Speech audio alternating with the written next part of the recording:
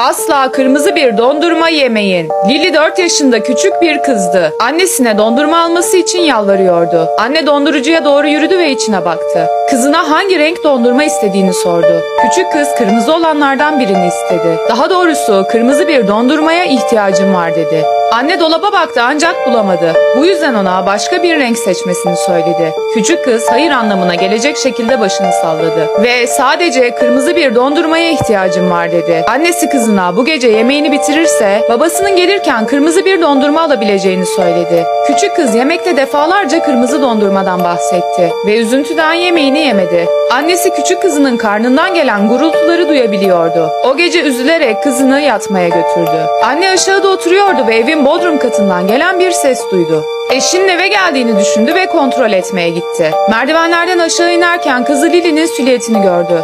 Lili'nin ayaklarının altında cam kırıkları vardı ve elinde kırmızı bir şey tutuyordu. Anne şok oldu.